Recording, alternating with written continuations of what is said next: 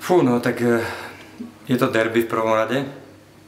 Samozrejme, derby nemá favorita a Nitra je vo veľmi ťažkej situácii, pretože potrebuje samozrejme získavať body. E, posledný zápas, čo hrali doma, sa im podarilo zvíťaziť s Družomberkom.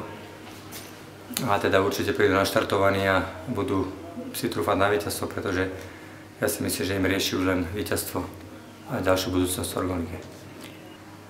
Tak ja si myslím, že nie, skôr naopak. Eh, ale tam není rozdiel, tam, tam bolo myslím, že dosť času na oddych aj pre Nitru.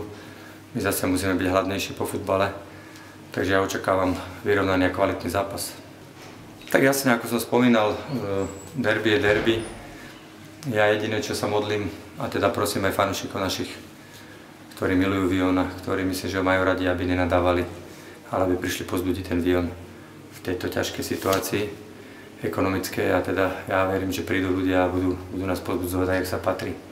Že nebude tu viacej ľudí z Nitry a teda my, aby sme v tom domácom prostredí zvíťazili.